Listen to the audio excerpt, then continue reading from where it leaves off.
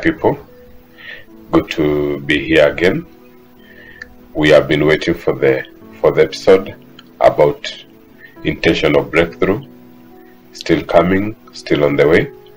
But today I want to take you a little bit uh, on a different uh, way or on a different something. I am going to be showing you how to create free power from an ordinary massage motor. I have a massage machine that broke up, so I decided to see what this motor can do. Can you imagine this motor is able to power my keyboard? It's able to produce enough energy to power my keyboard when I am rotating it using my uh, drill, my cordless drill. Welcome. Let's work together. We are intentional in this channel. We will be sharing the doings of the Lord through the Word of God and even through some lessons and courses like these ones to show you and to share the great mind that God has given us that we can do great. Uh, in the future, I am planning a very big project, but everything begins with one step. A thousand uh, steps, a thousand miles begins with one step. So this is a step, and I believe that I will be able to reach many, and I believe that I will be able to help many, and I believe that I will be able to transform many lives, mostly in the rural areas where there is no electricity. Here we come. Free energy from a common motor from a broken massage machine. Welcome. Hit the subscribe button, hit the notification button, watch our videos and like our videos. Karibu. Welcome. Let's see what happens right from this moment. I got this motor my spoiled uh, massage machine and I decided to try if it can produce power.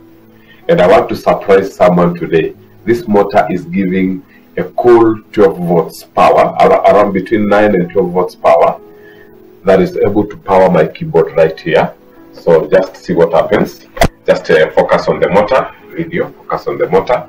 Uh, maybe you can go a little bit behind, a little bit behind so that you can see the motor and the keyboard. Follow this wire. See this wire?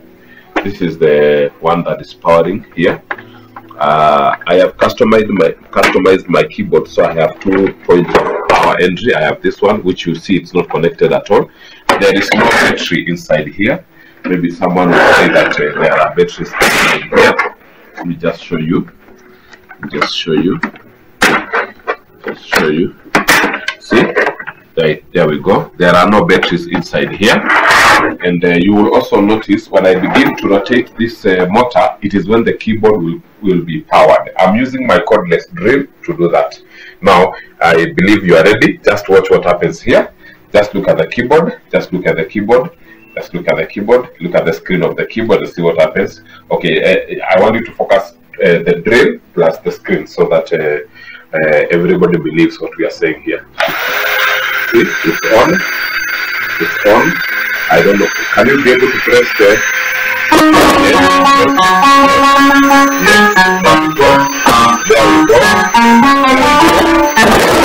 This motor is producing enough power power this keyboard. Okay, just look at the screen when I release the uh, screen at the, the drill. When I release it, let me release it. Let's go. One, two, three, go.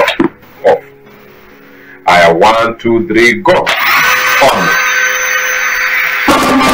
one, two, three, four. Continue pressing, continue pressing. One, two, three, four. The keyboard is off.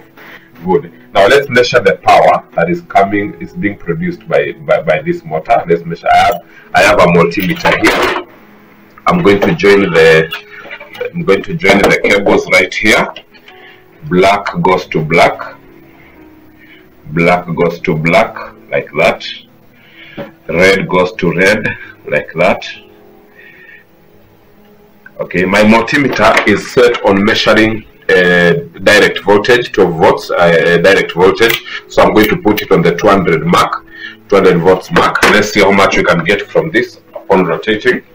Let's see, just uh, look at the screen of the voltmeter.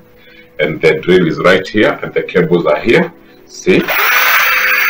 We got around uh, 8.6 volts because the rotation of this uh, drill is not that high. We got around 8.6 volts.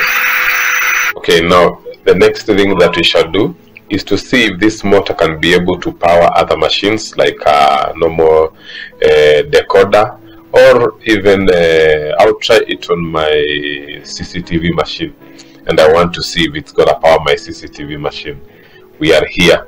Let's go together. So in the next uh, uh, in the next uh, uh, video, we will see if it can be able to power other machines apart from the keyboard only. Here we come. See you very soon.